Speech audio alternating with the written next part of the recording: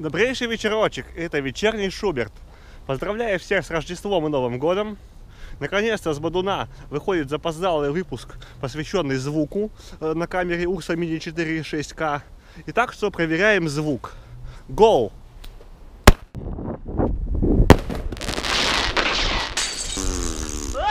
Хулиганы. Начнем с обновления прошивки до версии 4.2, которую выпустила Blackmagic. До этого стояла четвертая прошивка. Устанавливаем ее на камеру и посмотрим, что же нам Blackmagic приготовила, какие сюрпризы. Ну, никаких чудес особо нет, то есть, во всяком случае, по интерфейсу все осталось то же самое. Никаких новых опций в плане звука не появилось. То есть, также можно выбирать либо запись э, с встроенного микрофона, либо через XLR входы. Изменяется настройки, уровень микрофона, тип входа, линейный вход или микрофон, возможности включения фантомного питания, настройки микрофона. А форматов тоже новых не добавилось, в принципе все то же самое. Но надеемся, что все, что не делает Blackmagic, все к лучшему в этом лучшем из миров. Забегая вперед, сразу скажу, что звуковые возможности этой камеры немного уступают изображению. Но, как говорится, никто не Вуди Аллен, даже и Вуди Аллен уже не тот. На съемках большого кино все равно приходится пользоваться услугами профессионального звукооператора и отдельным рекордером. Ну а для документалистики и репортажей этого звука вполне хватит. Сразу же скажу, что я не являюсь экспертом в области звука, хотя я люблю музыку, могу отличить хороший звук от плохого, даже слушаю винил, но как профессионально протестировать камеру э, на звуковые возможности, я не знаю. Мы записали вот небольшой интершум, как вы можете слышать, и э, запись с различных микрофонов. Вы можете все только своими ушами услышать. Я считаю, что по сравнению с фотокамерами, звуковая система URS Mini 4.6K это очень большой плюс.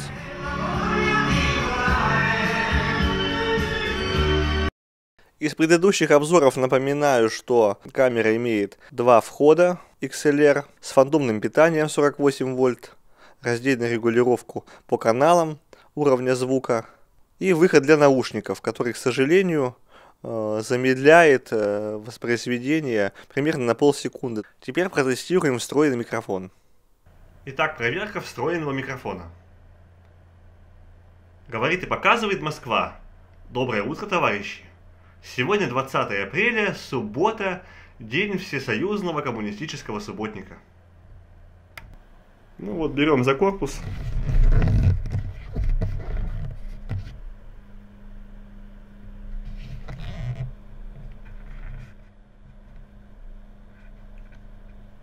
Трогаем объектив. Вот пример записи с трех метров. Ну, вот Вижу. Добрейший вечерочек, с вами вечерний Шуберт. Стоп. У меня родилась идея установить старый микрофон от камеры DVCAM и с помощью баночки изоленты сделать крепление.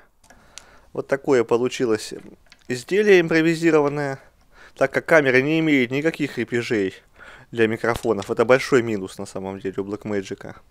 То есть приходится что-то выдумывать или покупать дополнительно. Вот такое изделие получилось. Испытаем. Говорит и показывает Москва. Доброе утро, товарищи. Сегодня 20 апреля, суббота, день Всесоюзного коммунистического субботника. Сегодня повсюду в нашей стране рабочие, колхозники, инженеры, студенты, школьники, все советские люди вышли на субботник. Уровень звука получился весьма низкий, но собственных шумов не слышно.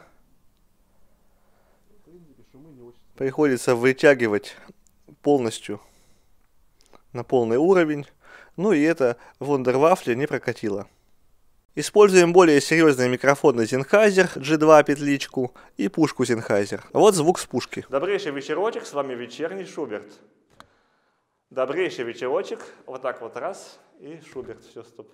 И, наконец, звук с радиопетлички в сапогах, в потертой блузе с бодуна, во всей красе шел мужик по кукурузе, по несжатой полосе. Пиджачок торчал кургуза, из цигарки шел дымок, думал, вот же, кукуруза. Думать дальше он не мог. Вдруг зарявкали моторы, подошел комбайнов строй, а в комбайне тот, который, а в соседнем тот второй, в куртках фирменной расцветки, в окружении поселян, и в руках у них ракетки. И у каждого валан неприступный, как гостайна, и стремительный, как вжик, Путин вышел из комбайна. Путин. Тут и сел мужик.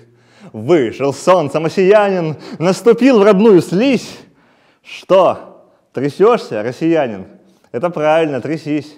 Увидав их пред собою, поселянин заблажил. Как же вас сюда, обоих? Чем я это заслужил?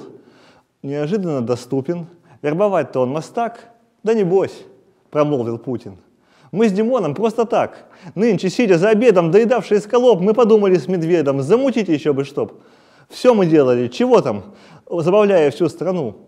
Управляли самолетом, погружались в глубину, нежной дружбы не таили, пели рок, коров доили, твиттер, свитер, макинтош, лыжи, танцы, все, что хошь. И при звоне чашек чайных был ответ произнесен. Мы ни разу на комбайнах не играли в бадминтон. Ни в России, ни в Союзе так не делали, скажи. И при этом в кукурузе. Ведь смешнее же, чем воржи. Совершенно оболванен от таких серьезных тем, так и ахнул россиянин. Вот же круто! А зачем? Путин скушал эту дерзость и ответил не по лжи. Так чего ж еще тут делать? Ведь не править же, скажи. И мужик, напрягший память, так и брякнул королям. Да, уж лучше вам не править. Лучше так вам, по полям, чтоб ракетки и валаны, и комбайн для куражу. А так какие ваши планы, я хоть бабе расскажу. И с усмешкой, как ангел, тот сказал примерно так. То ли на лыжах в акваланге, то ли в танке на журфак. Что тут скажешь? Что предложишь, лежа в страхе на стогу? Как ты так без литра можешь? Да, уж молвил он, могу. Итак, мы сегодня протестировали звук на камере Ursa Mini 4.6K. Продолжаем праздновать до окончания священного месяца в Драмадан. Смотрим вечернего Шуберта, конечно же, так как впереди много очень интересного. Например, это тест нового видоискателя, который вот-вот к нам идет.